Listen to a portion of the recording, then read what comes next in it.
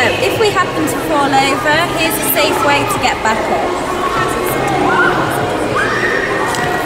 So firstly we want to take our hands off the ice and bend our knees into the same side to roll forwards onto our knees. One leg up and just putting our hand on our knee, we're going to do a nice big push back up, back to our V position.